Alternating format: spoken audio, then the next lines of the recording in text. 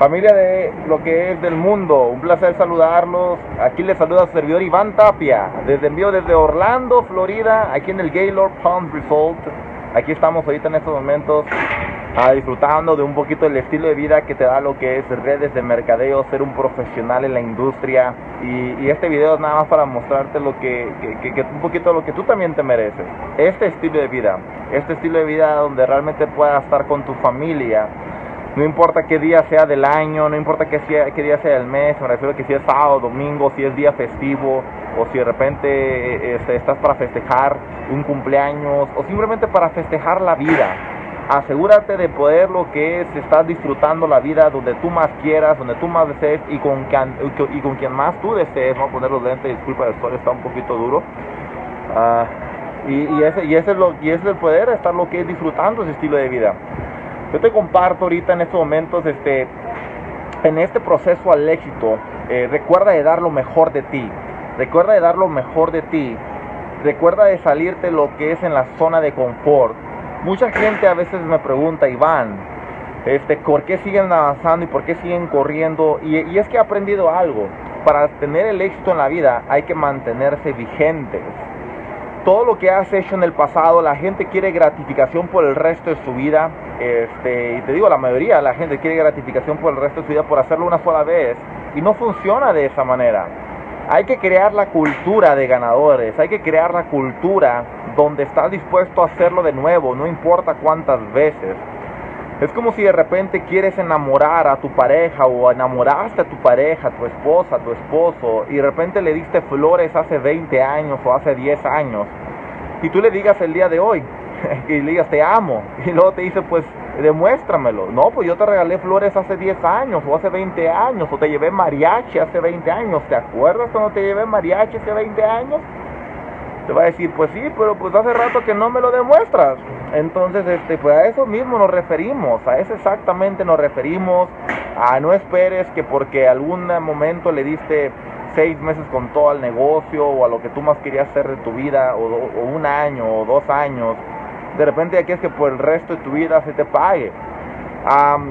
o sea, sí se puede llegar a pasar a eso, pero obviamente es un punto 001% o más de lo que es que pueda llegar a pasar eso.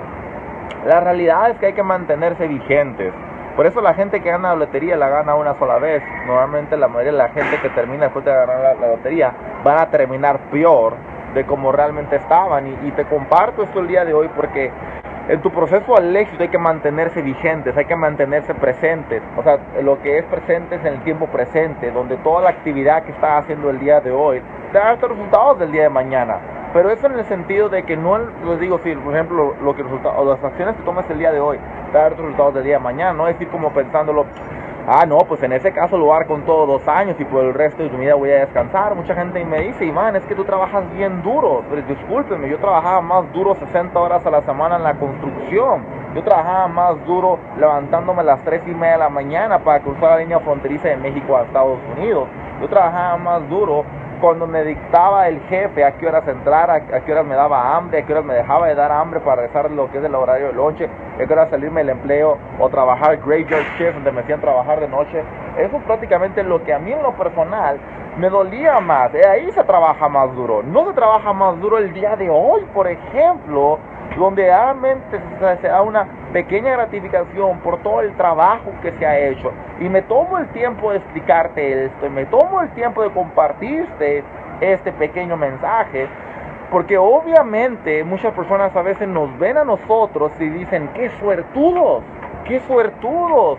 Pero es como si también cuando nosotros estábamos comenzando el negocio, yo hubiera visto a la persona con la cual es mi mentor y mi patrocinador y, y mis otros mentores y yo hubiera dicho, qué suertudos fueron pero no fueron suertudos, fueron personas que tomaron acción.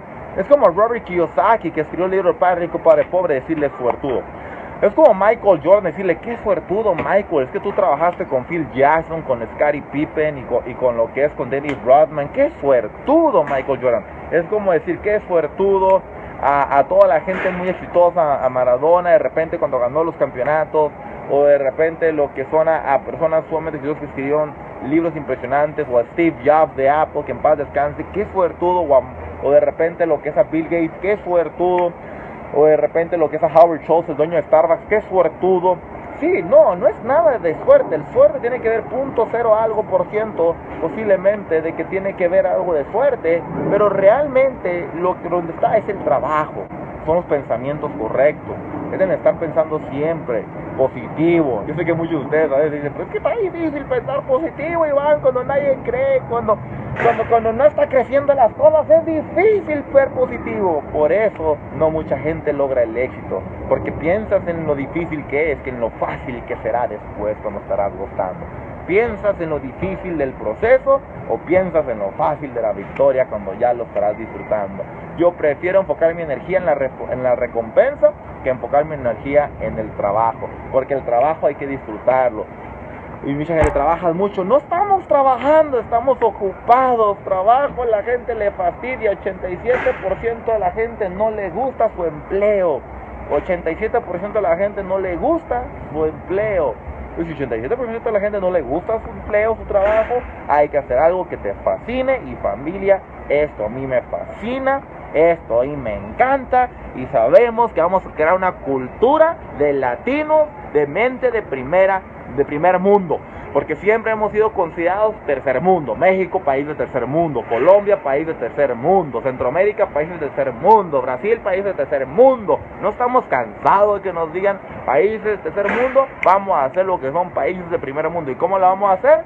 Cambiando nuestra forma de pensar, de ser nada cómodos, de ir por lo difícil en lugar de lo fácil, porque lo difícil al, inicio te duele más. Al inicio el proceso del éxito duele, pero al final te va a dar lo que es la mayor recompensa de tu vida y tu familia de generaciones venideras. Así que vamos a hacer un mundo de emprendedores imparables, impresionantes. Se despide de ustedes Iván Tapia, de aquí los saludados desde Orlando, Florida. Un fuerte abrazo a la distancia, mis amigos y nos vemos en la cima del éxito y en las playas del mundo. Y aquí estamos un poquito nada más en la tierra de Mickey. Fuerte abrazo. Saludos.